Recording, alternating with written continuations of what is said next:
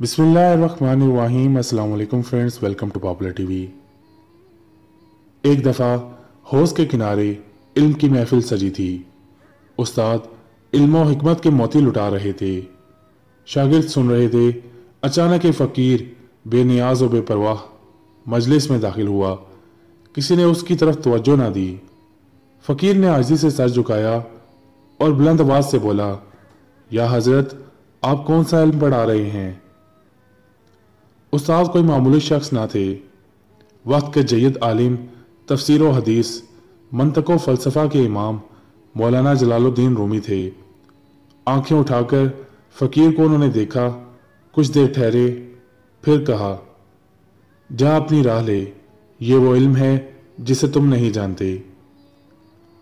فقیر آگے بڑھا، کچھ دیر رکا اور پھر اس نے حوض کے کنارے پڑی کتابوں کو دھکا دے دیا۔ ساری کتابیں سارا علم حوض میں گر گیا۔ مولانا روم غصے میں آگے شاگرد بفر گئے، فقیر کو سب برا بھلا کہنے لگے۔ تم نے یہ کیا کیا؟ سب ضائع کر دیا۔ فقیر تھوڑی دیر یہ سنتا رہا، پھر مسکرایا، حوض میں ہاتھ ڈالا اور ساری کتابیں نکال کر باہر رکھ دی۔ کسی کتاب پر پانی کا ایک قطرہ نہ تھا، پہلے سے بڑھ کر وہ صاف ہو چکی تھی۔ سب حیران و پریشان رہ گئے۔ مولانا روم آگے بڑھے آجزی سے پوچھا، یا حضرت، یہ کیسا علم ہے؟ فقیر مسکرایا، بولا، یہ وہ علم ہے جسے تم نہیں جانتے۔ مولانا روم کی دنیا بدل گئی۔ فقیر کے قدموں میں گر گئے۔ وہ فقیر، درویش، حضرت شاہ شمس تبریز رحمت اللہ علیہ تھے۔ مولانا روم پھر رومی ہو گئے۔ منطق و فلسفہ کے استاد نہ رہے، عشق و محبت اور تصوف کے وہ کلندر بن گئے۔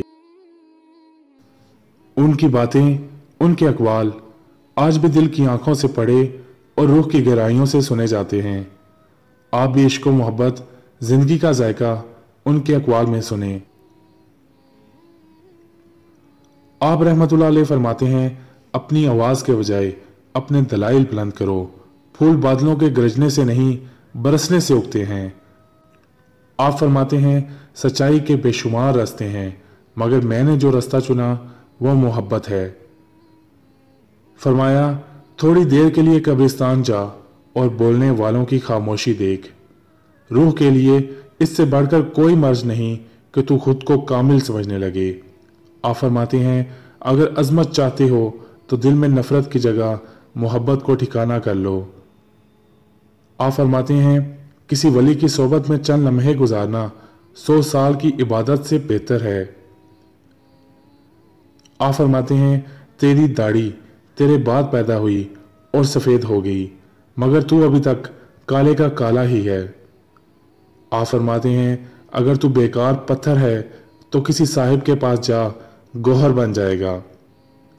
آپ فرماتے ہیں، موت کا ذائقہ سب نے چکنا ہے زندگی کا ذائقہ مگر کسی کسی کو نصیب ہوتا ہے۔ فرمایا، تمہاری اصل ہستی، تمہاری سوچ ہے، باقی صرف ہڈیاں اور گوشت ہے۔ آپ فرماتے ہیں، رومی، اس وقت تک مولائے روم نہ بنا۔ شمس تبریز رحمت اللہ علیہ کا جب تک وہ غلام نہ ہو گیا۔ تو بھی نیک صحبت کو لازم پکڑ لے۔ مولوی، ہرگز نہ شد مولائے روم۔ تا غلام شمس تبریزی نہ شد۔ فرینڈز، مجھے یقین ہے میری آج کی ویڈیو آپ کو اچھی لگی ہوگی۔ مزید اچھی اچھی ویڈیوز کے لیے ہمارے چینل پاپولر ٹی وی کو سبسکرائب کریں، اس ویڈیو کو لائک کریں اور اپنے فرینڈز کے ساتھ شیئر کریں۔ آپ سے ملاقات ہوگی میری اگلی ویڈیو میں۔ تب تک اپنا اور اپنی فیملی کا بہت خیال رکھیے گا۔ فی مان اللہ۔ اللہ حافظ۔